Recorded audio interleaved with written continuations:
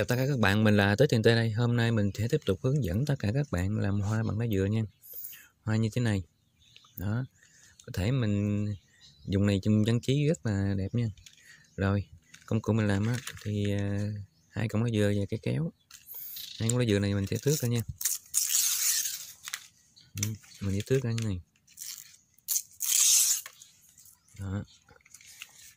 Khi mình tước được như này thì mình sẽ cắt à, xéo một đầu và đầu lại cắt ngang nha. Rồi như này, mình sẽ bận à, đầu này nè. Mình sẽ bẻ, gấp một cúc gì. Đó. Gì thấy không? Mình sẽ à, trồng lên nhau gì. Đó.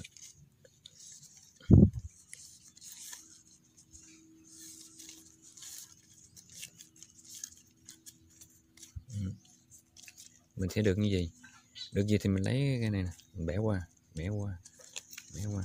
Mình tạo cái mối cho nó, mối nó chắc đó nha. Ừ. được gì? Tiền đầu dư này mình cắt bỏ.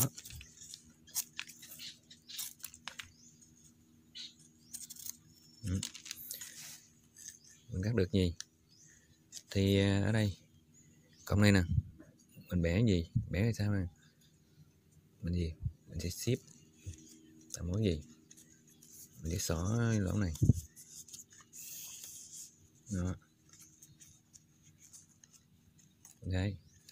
Bên đây cũng vậy luôn. Bẻ dòng cái sao nè. Bẻ mối nè. Lật ship nè. Xỏ này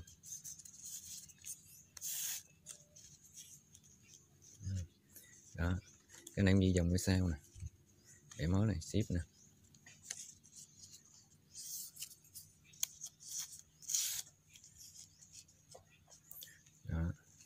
Đây bẻ dòng sao nè. Ship nè.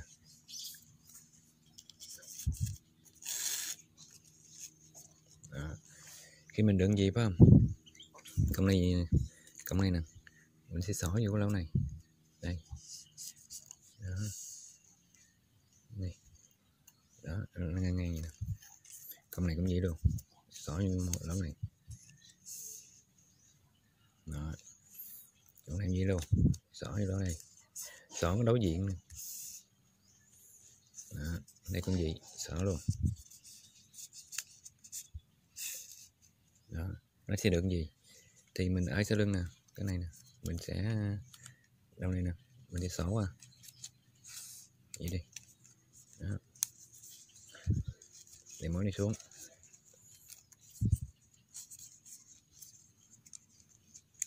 Đó tạo mối cho nó chắc này.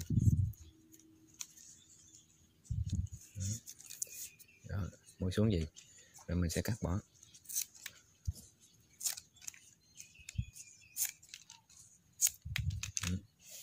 Mình cắt bỏ mình sẽ được cái gì?